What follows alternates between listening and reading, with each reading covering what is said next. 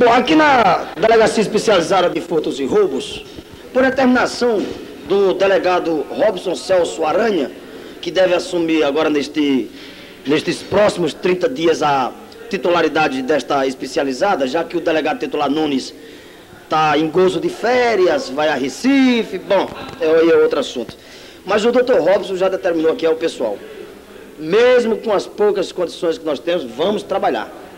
Qualquer queixa, tendo combustível tendo viatura, é para trabalhar. Bom, índio, já conheço índio, de muito tempo. Ei, para aqui, por favor, fica aqui. Fica aqui, por gentileza.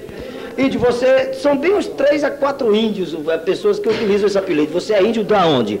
Mãe Luísa. Ah, o índio de Mãe Luísa. Você foi preso e autuado em flagrante por quê? Porque eu tava embriagado, né? Aí eu vinha, tava liso, né?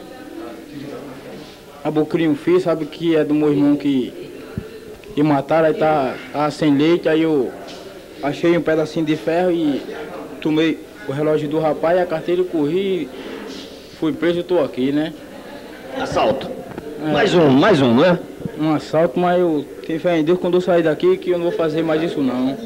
Você já tinha tido outras passagens já, não é, não é, Índio? Aqui eu não tinha não. Mãe Luísa, Mãe plantão. E na quarta e na plantão. Olha, meu irmão, qual é o teu nome? Maximiano Nascimento. Eu tirei um dinheiro do tio meu.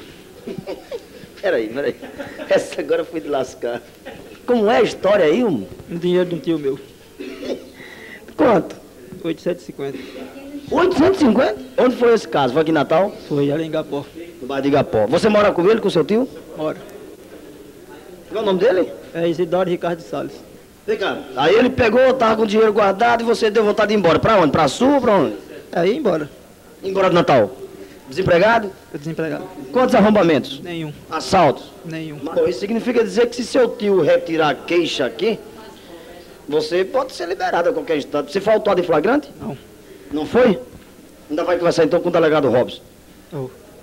Mas, rapaz, tu tem coragem pra caramba. Agora, se do teu tio tu tivesse essa coragem toda, imagina tu pegar seu dormindo, tu tirava também, não tirava não?